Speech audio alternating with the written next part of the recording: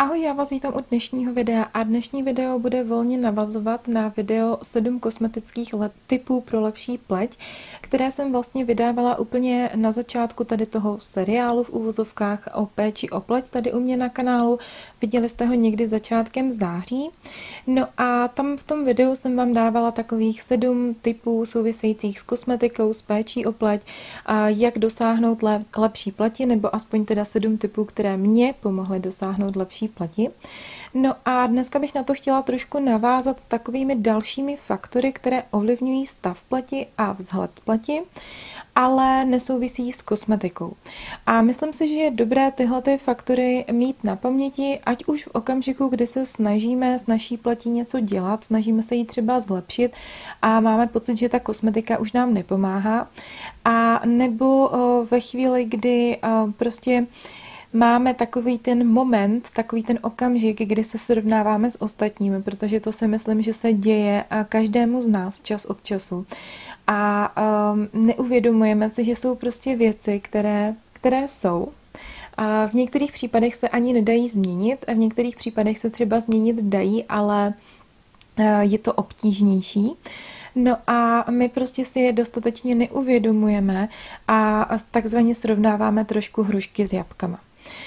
A samozřejmě to, co vám dneska budu říkat, nejsou asi jako převratné novinky, jako že byste teď jako zjistili, pane bože, tohle to jsem doteď nevěděla. Já si myslím, že tohle to jsou věci, které ve skutečnosti všichni víme, jenom si je dostatečně neuvědomujeme.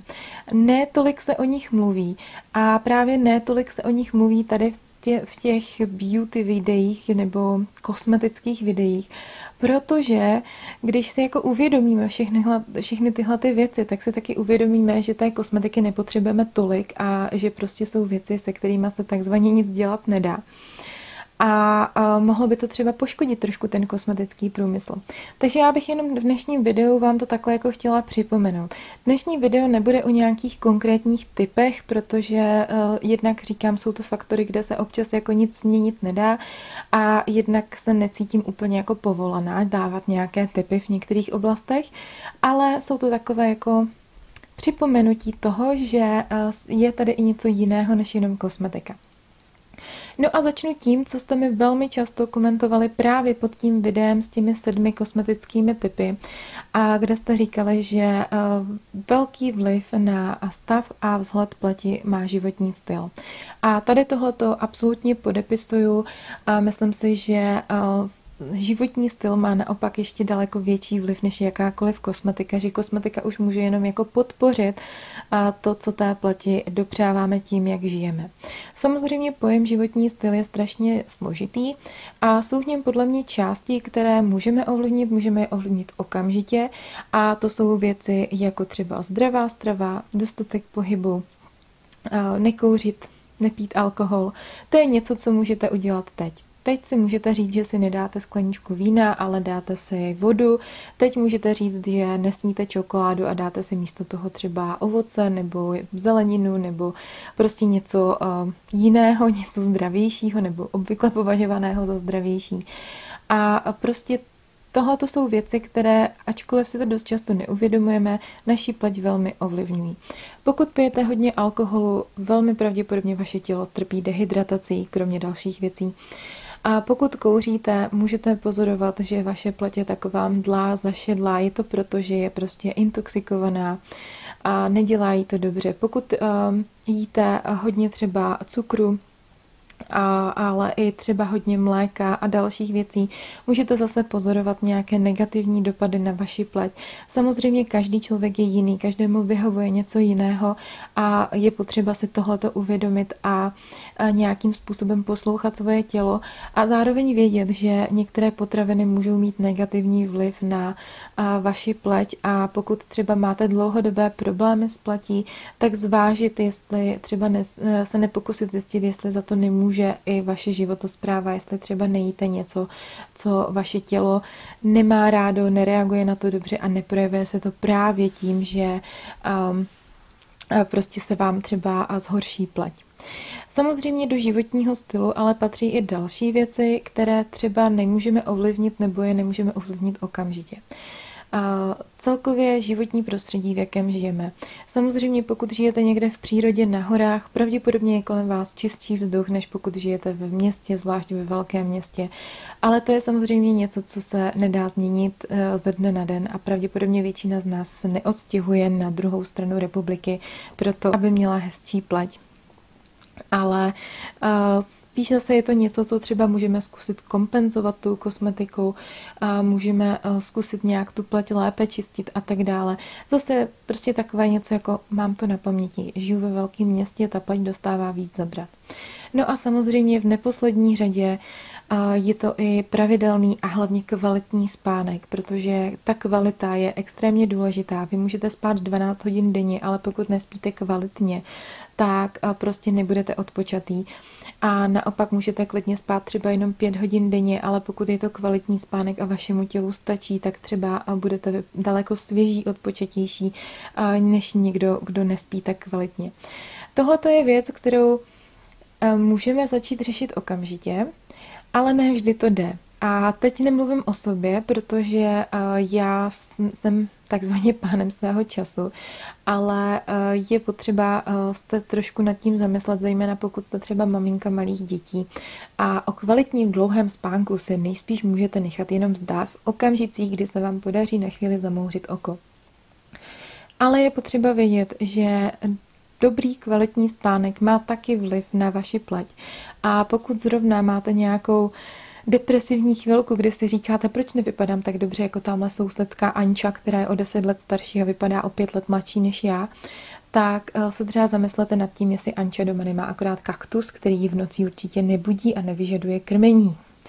A jo, jako zlehčuju to samozřejmě, zjednodušuju to, ale spíš jde o to si uvědomit, že všechny tyhle ty věci, byť se nám zdají malé, anebo se nám zdají takové nějaké automatické, tak mají vliv na to, jak naše pleť vypadá. A e, pokud je zrovna teď aktuálně nemáme úplně perfektní a třeba to zrovna nemůžeme změnit, protože prostě naše děti v noci brečí, tak e, je potřeba to mít jako na paměti a nesrovnávat takzvaně hrušky s jabkama, netrápit se tím, že někdo vypadá líp než my, protože on třeba je v úplně jiné životní situaci. A, a samozřejmě, pokud to jde, tak tady na tohleto myslet a snažit se nějakým způsobem, a, řekněme, zlepšovat ten svůj životní styl. Takže to byl teda první takový faktor, se kterým se dá něco dělat aspoň teda do určité míry. Druhý faktor, který má velký vliv na náš vzhled, je genetika. A to je věc, se kterou se nic dělat nedá. I když nějaké takové vědecké pokusy probíhají, tak já osobně nejsem úplně velkým příznivcem, a takže považuji genetiku za něco, s čím se nic dělat nedá. A zase, tohle to je něco, co si myslím, že většina z nás ví, že prostě um, máme v genech i to, jakým způsobem budeme stárnout ale občas si to jako neuvědomujeme a máme tendenci se porovnávat. Zase tamhle s Ančou od sousedů, která je o pět let starší, vypadá o pět let mladší, protože její maminka vždycky vypadala mladší a její babička vždycky vypadala mladší, než ve, kolik jim ve skutečnosti bylo, a kdežto my prostě vypadáme starší. A tohoto je zase něco, co je jenom potřeba mít na paměti. Jak říkám, nedá se s tím nic dělat, takže prostě jen ty geny neošálíte. A pokud chcete vidět, jak budete stárnout, je docela dobré se rozhlednout po rodině. A samozřejmě někde to třeba bude půl na půl, takže tam nevíte, po kom jste se vyvedli a samozřejmě vždycky je riziko, že jste se vyvedli po někom z 20. kolene, kterého už si neprohlédnete. Ale pokud se podíváte na svoje rodiče a ti vždycky vypadali o něco mladší, než byli, než kolik jim zrovna bylo, tak máte velkou šanci, že i vy budete vypadat ve vyšším věku mladší. A když to pokud se u vás v rodině známky stárnutí projevují dříve, což se taky může stát, většinou se to teda projevuje eh, šedivěním vlasů nebo obecně eh, jako chlupů, u mužů vousů třeba, tak prostě je určitá šance, že i u vás se to takto stane. Samozřejmě, prosím vás, nikde to není vytesáno do kamene, já vám to nedokážu říct, že to takhle bude, ale zase je to faktor, který je podle mě potřeba mít na paměti a nesrovnávat se s ostatními. To vám tady během toho videa budu ukaz- e, teda ukazovat, to vám budu tady říkat ještě hodně často. Další faktor, který má vliv na to, jak e, naše pleť vypadá, je typ pleti. Tady typ pleti má hlavně vliv na to, jak naše pleť bude stárnout. A to je zase něco, co se mi přijde jako že ví, ale tolik se o tom nemluví a ve vyšším věku pak zase máme tendenci srovnávat jabka s hruškama. A vlastně jde o to, že pokud jste vždycky měli suchou pleť, tak Pravděpodobně jste v mládí na tom byli lépe, protože vás netrápilo akné a pupínky, ale čím jste starší, ta pleť je čím dál suší, to je u všech lidí a tak pak můžou vlastně projevy stárnutí se na vaší pleti projevit dříve, protože ta pleť je suchá, je dehydratovaná a je potřeba víc třeba právě kosmetikou, ale i nějakými potravinovými doplňky a tak dále, jakoby doplňovat nějakou vláhu do té pleti a ten typ pleti prostě má velký vliv na to, jak vypadá ta pleť ve stáří. Zase je to něco, co nezměníme. Typ pleti se mění sám od sebe nebo může se měnit sám od sebe v průběhu našeho života, ale není to něco, co si takhle řeknu. A dneska budu mít mastnou pleť. A dneska ji budu mít suchou. Tak takhle to jako nefunguje. A naopak, kdo jste v mládí trpěli na mastnou pleť a trápilo vás víc třeba akné, tak v určitém směru je pro vás to lepší v tom, v tom jako smyslu, že bude možná vaše pleť stárnout trošku pomaleji, že ty projevy a stárnutí se neprojeví tak brzy. Samozřejmě souvisíte se spoustou jiných faktorů, ale je prostě potřeba si uvědomit, že typ pleti má také vliv na to, jak naše pleť stárne a jak bude vypadat ve vyšším věku. No a poslední faktor, který bych tady uh, chtěla zmínit a který zase občas vede ke srovnávání hrušek s jabkama, uh, je váha hmotnost. To je taková věc, o které se ze slušnosti nemluví, a hlavně mezi ženami a u žen. A, ale co si spousta lidí zase ne podle mě plně uvědomuje, je fakt, že pokud máte kila navíc, tak máte víc tuku podkožního a pokud máte víc podkožního tuku, například v obličeji, tak vaše pleť působí hladčím dojmem. Je to takový trošku rozpor, většinou v mládí ženy dívky, které mají kila navíc, vypadají starší, než ve skutečnosti jsou, protože jednak se u nich dřív začnou eh, projevovat druhotné pohlavní znaky a jednak celkově prostě působí mohutněji, působí um, prostě takové jako větší než jejich vrstevnice. A Naopak ale potom od nějakého, řekněme, 30. 35. věku a výš, zase ženy, které mají nějaká kila navíc, tak můžou působit mladší, protože jejich pleť působí mladší. Zhruba kolem 35 se začne u všech projevovat stárnutí, začnou se projevovat vrázky. U někoho dřív, u někoho později, ale zhruba kolem tohohle věku to prostě fakt už začne. A vlastně ženy, které prostě mají kila navíc, tak ty vrázky mají méně viditelné, protože prostě ten podkožní tuk tu pleť víc napíná. Samozřejmě prosím vás, v žádném případě tady nikoho nenabádám, abyste přibrali 20 kg jenom proto, aby se vám vypla pleť. A je potřeba zdůraznit, že nadváha, obezita má prostě daleko jako větší množství negativ a rizik pro vaše zdraví, než to, že prostě vypadáte mladší. Ale proč to tady um, jako zdůraznuju nebo vůbec o tom mluvím, je ten důvod, že zase máme prostě tendence se porovnávat mezi sebou. To prostě má podle mě každý. I ten, kdo říká, že to nedělá, tak to občas udělá. A uh, prostě občas máte po- pocit, můžete mít pocit, že ve skupině zhruba stejně starých kamarádek, třeba vypadáte starší než některá vaše jiná kamarádka. Ale pokud ona má prostě nějaký to kilčo navíc a vy jste byla vždycky velmi štíhlá, tak eh, Prostě i to je faktor, který se může projevit na té pleti a který může prostě ovlivňovat to, jak svoji pleť vnímáme.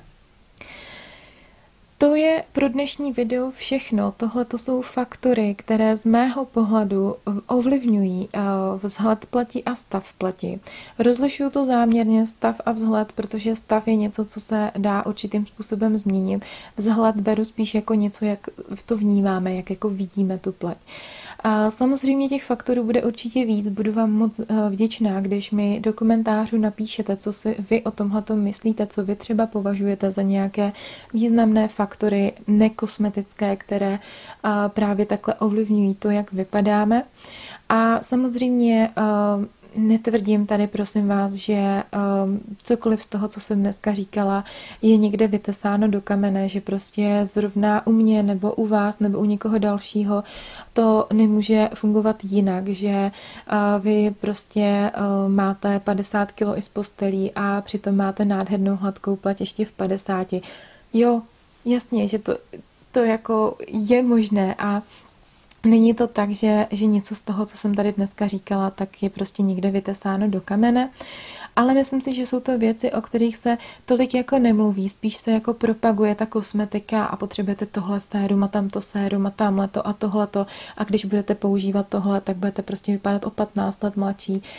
A ve skutečnosti to jako není úplně pravda není to ani úplně lež, ale není to úplně pravda a je prostě potřeba mít na paměti, že kosmetika nevyřeší všechno a že jsou i věci, které se prostě nevyřeší nebo které nejde změnit. Prostě svůj genetický fond nezměníte a pokud vaše maminka měla šedivé vlasy ve 30 a váš tatínek v 25, tak bohužel velmi pravděpodobně je budete mít šedivé ve 30 i vy. Samozřejmě nemusíte, ale ta šance tu je a je potřeba to mít trošku na paměti. Tak já doufám, že jste trošku pochopili, co jsem tímhle videem chtěla říct. Samozřejmě berte to s rezervou, berte to v pohodě, berte to jako takové informační video s námětem na další povídání na tohleto téma a budu moc ráda, když mi do komentářů napíšete, co si o tomhle myslíte vy. To už je pro dnešní video úplně všechno. Mějte se krásně a u toho dalšího videa se budu těšit opět na viděnou. Ahoj!